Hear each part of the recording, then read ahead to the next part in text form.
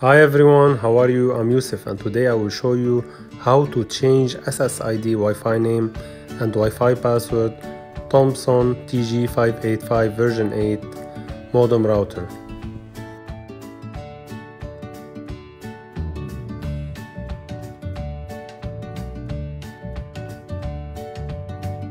Configuration Make sure your mobile phone or your computer is connected to the internet you will need to be connected to the internet in order to access the router page by Wi-Fi or by Ethernet cable from your modem to your PC or laptop.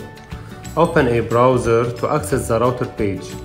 You can use Google Chrome, Internet Explorer, Mozilla Firefox or Safari from your iPhone